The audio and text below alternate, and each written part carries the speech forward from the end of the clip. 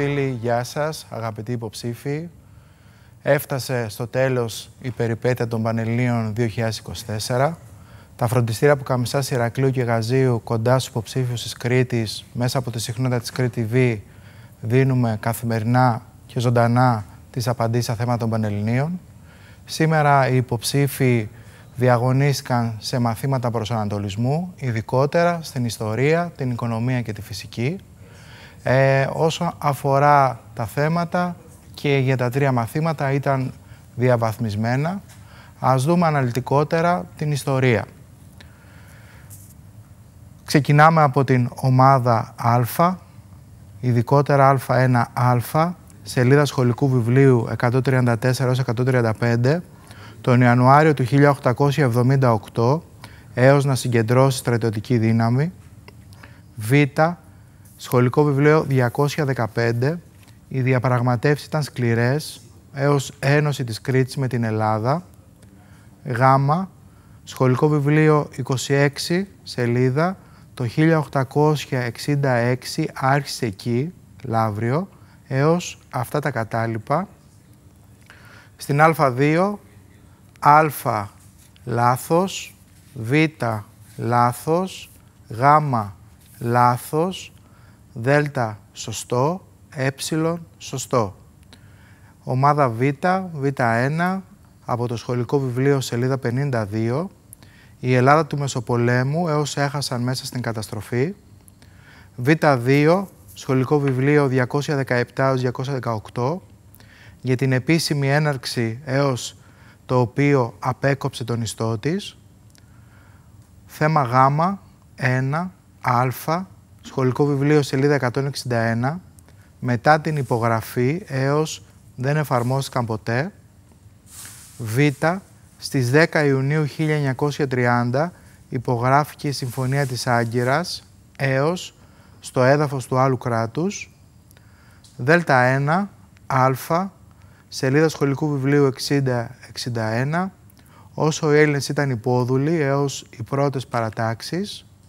Τέλος Β, σελίδα σχολικού βιβλίου 61, το προσωρινό πολίτευμα της Επιδαύρου έως μεταξύ στρατιωτικών και προκρήτων. Περνάμε στο μάθημα της οικονομίας. Χαίρετε. Τα θέματα στο μάθημα της οικονομίας μπορούμε να πούμε ότι ήταν μη αναμενόμενα. Ήταν αυξημένης δυσκολίας σε σχέση με την περσινή χρονιά και αρκετά πρωτότυπα. Ας περάσουμε τώρα στις απαντήσεις των θεμάτων. Θέμα Α. Α1. Α λάθος, Β λάθος, Γ σωστό, Δ σωστό, Ε λάθος. Α2 η σωστή απάντηση είναι το Β, Α3 η σωστή απάντηση είναι το Δ. Περνάμε στο θέμα Β. Το Β1, το Α, η απάντηση είναι στο σχολικό βιβλίο στη σελίδα 97, η παράγραφος μεταβολή της ζήτησης.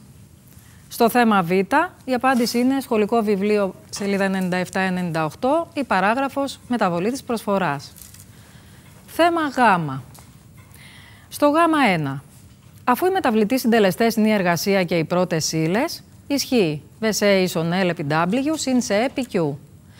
Για L ίσον άγνωστο έχουμε μη π ίσον 60, όπου επιλύοντας τον τύπο του οριακού προϊόντος βρίσκουμε L ίσον 20. Άρα το μέσο προϊόν είναι 800 δια 20, δηλαδή 40.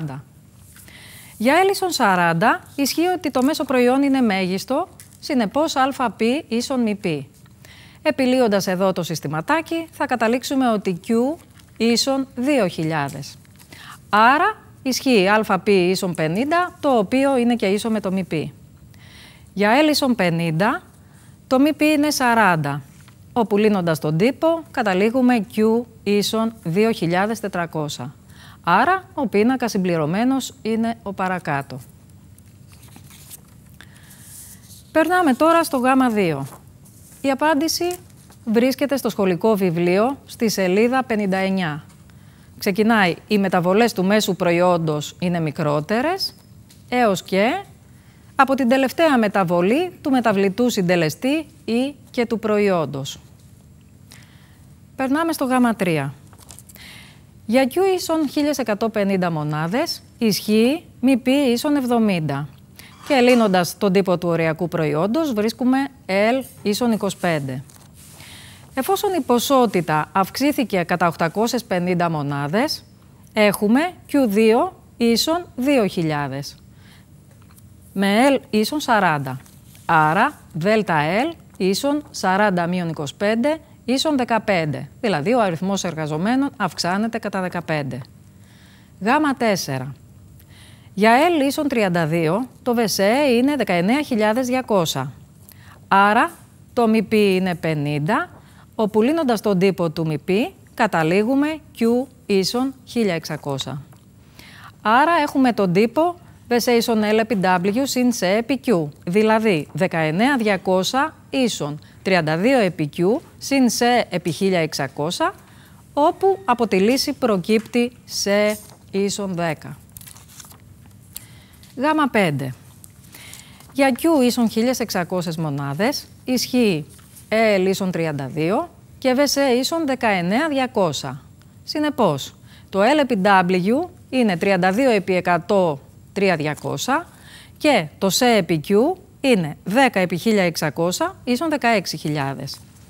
Άρα το ποσοστό δαπάνης για εργασία είναι 3.200 προς 19.200 επί 100 και το βρίσκουμε 16,7%. Ενώ το ποσοστό της δαπάνης των πρώτων υλών είναι 16.000 προς 19.200 επί 100 ίσον 83,3%.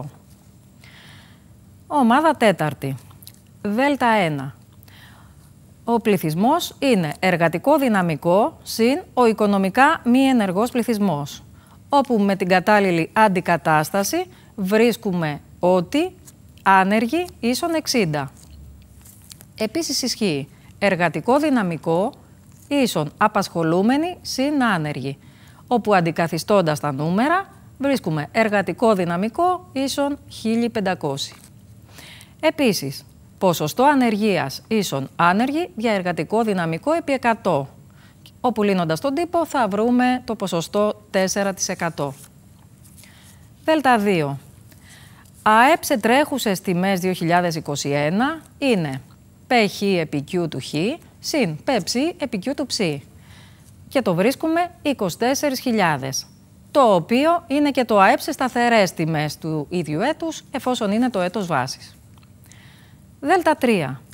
Εφόσον το έτος βάσης είναι το 2021, ο δείκτης τιμών του 2021 είναι 100. Ε, και αφού ο ρυθμός πληθωρισμού είναι 20%, ο δείκτης τιμών του 2022 προκύπτει 120.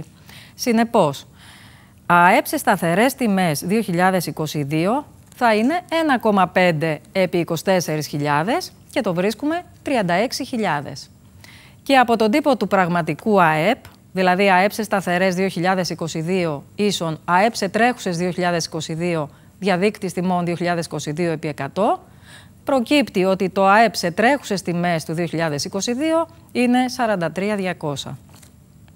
Δέλτα 4. Αφού ο ένας εργάτης παράγει 4 χ, για χ ίσον 2.000 θα απασχολούνται 2.000 προς 4 500 εργάτες. Εφόσον τώρα ο ένας εργάτης παράγει 8 ψή, για ψή ίσον 8.000 απασχολούνται 8.000 δια 8 ίσον 1.000 εργάτες. Δέλτα 5. Το ποσοστό ανεργίας του αγαθού Χ είναι 10%. Άρα 10 ίσον άνεργοι για 500 επί 100. Οπότε οι άνεργοι στο αγαθό Χ προκύπτουν 50. Το ποσοστό ανεργίας του ψή είναι 20%. Άρα 20 ίσον άνεργοι στο ψή προς 1000 επί 100 και προκύπτει η άνεργη στο αγαθό ψή είναι 200.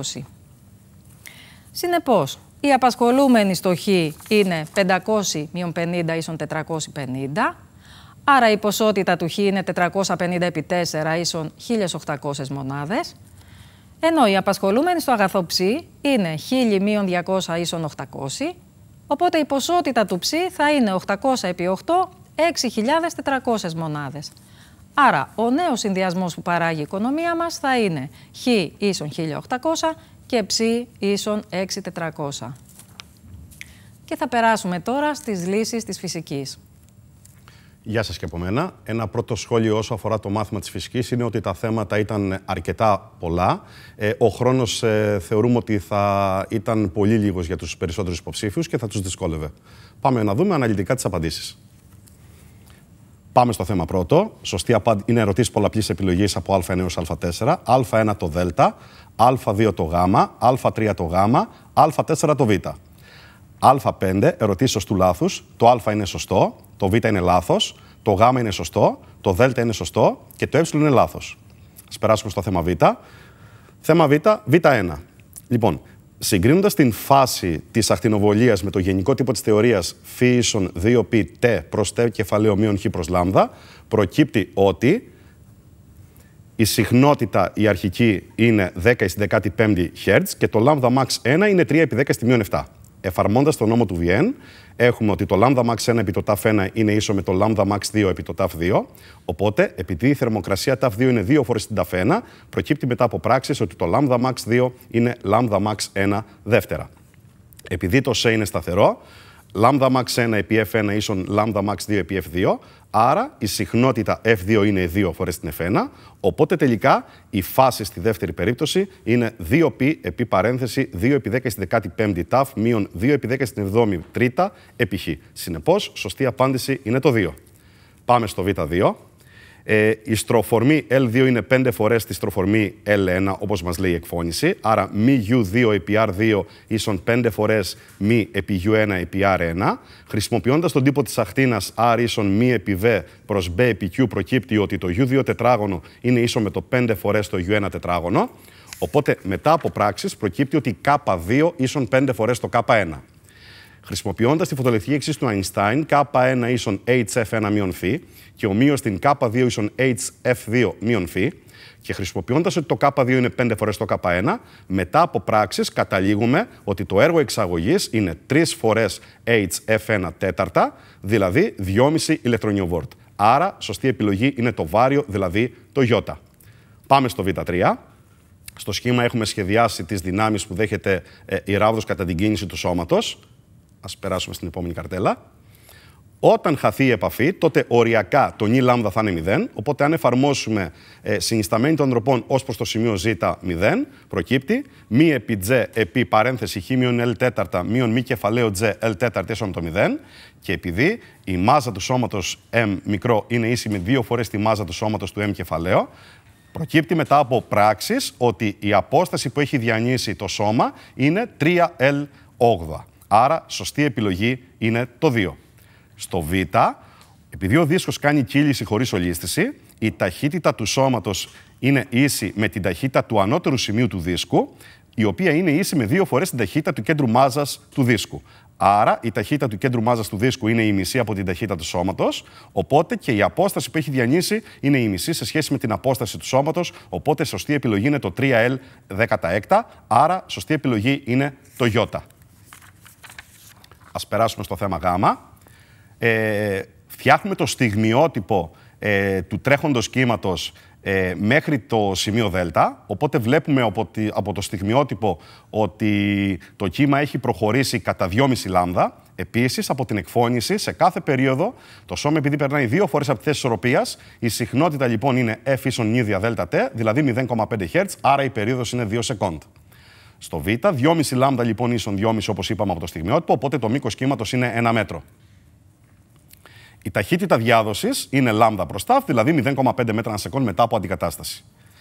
Στο Δέλτα, 2,5 επί την περίοδο, σε, σε 2,5 περιόδους το ε, κύμα έχει προχωρήσει κατά απόσταση, ε, συγγνώμη, το σημείο της πηγής έχει εκτελέσει απόσταση 10α, άρα 2 φορέ 2 ίσον 10α, άρα το α είναι 0,2.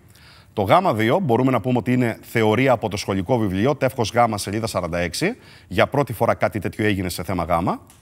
Γ3. Ε, η ταχύτητα του σημείου Δ είναι ίση με τη μέγιστη ταχύτητα επί το συνημήτωνο του 2π τ προς τ κεφαλαίο μείον χ δ προς λ και ε, βρίσκοντας τη Umax από τον τύπο ω επί α 0,2 π μέτρα ανά σεκόν, τελικά προκύπτει ότι η ταχύτητα του σημείου Δ είναι 0,2 π επί το συνημήτωνο του π μείον 5 π στο SI για χρόνο τάφ μεγαλύτερο του 5 σεκόντ. Στην επόμενη καρτέλα φτιάχνουμε και ε, βλέπετε τη γραφική παράσταση της ταχύτητας του σημείου Δ σε σχέση με το χρόνο από τη χρονική στιγμή 5, από τη χρονική στιγμή 0 έως τη χρονική στιγμή 5, 8 σεκόντ. Γάμα 4. Το καινούριο μήκος κύματος είναι 2,5 μέτρα, όπως προκύπτει από το στιγμιότυπο που βλέπετε στο σχήμα. Επειδή η ταχύτητα διάδοσης είναι σταθερή, τότε προκύπτει ότι η νέα συχνότητα είναι 0,2 Hz, άρα η μεταβολή στη συχνότητα είναι 0,3 Hz μείωση. Πάμε και στο θέμα Δ. Δ1 το Α για την ταλάντωση της ράβδου ισχύει ότι η συνισταμένη των δυνάμεων σε μια τυχαία θέση είναι της μορφής μείον σταθερά επαναφοράς της ράβδου επί την απομάκρυνση. Άρα η δύναμη επαναφοράς είναι μείον ντε της ράβδου επί το χ. Όταν χαθεί η επαφή, τότε η δύναμη επαφής θα είναι 0. Πράγμα από το οποίο καταλαβαίνουμε ότι τελικά το χ είναι 0, δηλαδή η επαφή χάνεται στη θέση ισορροπίας, η οποία προφανώς ταυτίζεται με τη θέση φυσικού μήκους που μας ζητάει η εκφώνηση στο Β, Δ1 το Β. Ε, το Κ είναι μη και μη της ράβδου επί ω τετράγωνο, από όπου βρίσκουμε τη γωνιακή συχνότητα ότι είναι 2,5 ράντα ανά σεκόντ. Έτσι, η μέγιστη ταχύτητα είναι ω επί ΔΕΛΤΑ 2,5 επί 0,4, δηλαδή 1 μέτρο ανά σεκόντ. Μετά το χάσιμο της επαφής, η μέγιστη ταχύτητα παραμένει ίδια αφού δεν αλλάζει θέση ισορροπίας. Άρα, αφού η νέα κυκλική συχνότητα είναι 5 ράντα ανά σεκόντ, προκύπτει ότι το πλάτος της ταλάντωση που θα εκτελέσει το σώμα μετά την ε, αποχωρισμό των δύο σωμάτων είναι 0,2 μέτρα. Πάμε στο ΔΕΛΤΑ2. Στο ΔΕΛΤΑ2, από τον κανόνα του δεξιού χεριού της δύναμης Lorentz προκύπτει ότι η πολικότητα στα άκρα της ράβδου θα είναι ε, απάνω το συν και από κάτω το πλήν. Δέλτα 3. Από 1 έως 3 σεκόντ η ράδος εκτελεί ευθύγραμμη ομαλά επιταχυνόμενη κίνηση με αρχική ταχύτητα το 1 μέτρο αν σεκόντ. Η συνισταμένη των δυνάμεων από το δεύτερο νόμο του Νεύτωνα είναι ίση με το μη επί α. Η μοναδική όμως δύναμη είναι η δύναμη F. Άρα προκύπτει ότι η επιτάχυνση είναι 2,5 μέτρα ανασεκόν τετράγωνο. Εφαρμόζοντας την εξίσωση της ταχύτητας, U ίσον U0 συν α επί δέλτα προκύπτει ότι η ταχύτητα είναι 6 μέτρα ανασεκόντ. Δ4 το α, υπολογίζουμε τη συνολική αντίσταση ε, του, του κυκλώματος, η οποία εδώ θέλει λίγο προσοχή ο, να δούμε ότι οι τρεις αυτές αντιστάσεις είναι συνδεμένες παράλληλα, Άρα 1 προς R λιγό ίσον 1 προς R1 συν 1 προς R2 συν 1 προς R3, από όπου προκύπτει ότι η ολική αντίσταση είναι 2 ohm. Η τάση από επαγωγής στα άκρα της ράβδου είναι ε, β επί U επί L, δηλαδή 6 volt. Το ολικό ρεύμα είναι ε, ε επαγωγικό διά R ολικό 3 αμπέρ Οπότε λοιπόν η δύναμη Λαπλάς που δέχεται η ράβδος είναι B επί I επί L 3 νιούτον και επειδή λοιπόν η δύναμη Λαπλάς κατά μέτρο έχει την ίδια τιμή με τη δύναμη F, τελικά η συνισταμένη των δυνάμεων είναι 0, οπότε τελικά αποδεικνύεται ότι η ράβδος εκτελεί ευθύγραμμη ομαλή κίνηση.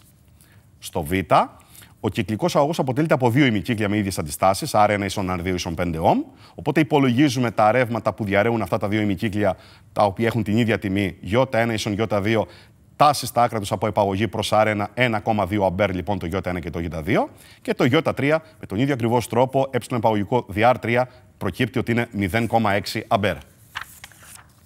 Τέλος, πάμε στο Δ5, το Α. Από τον νόμο του Μπιοσαβάρ προκύπτει ε, ότι το Β3 είναι μη 0 προς 4π επί π Ι3 προς R1, το οποίο τελικά προκύπτει ότι είναι 1,2π επί 10 στη 7 Τέσλα στο Β, λόγω των αντίθετων ρευμάτων Ι1 και Ι2 που διαρρέουν τα δύο ημικύκλια ΔΝΙΖ και ΔΘΖ, τα αντίστοιχα μαγνητικά πεδία που δημιουργούνται στο όμικρον αλληλοακυρώνονται, οπότε τελικά το Β ολικό είναι ίσο με το Β3, δηλαδή 1,2 π επί 10 στη 7 ε, π ε, Τέσλα. Αυτά με τις απαντήσεις ε, των θεμάτων της σημερινής μέρας. Αναλυτικές απαντήσεις θα βρείτε στο νεακρήτη.gr και στο αυριανό φύλλο της εφημερίδας Νέα Κρήτη. Από όλους εμάς τα φροντιστήρια που Καμισά, Ηρακλείου και Γαζίου ευχόμαστε καλά αποτελέσματα και καλό καλοκαίρι. Γεια σας.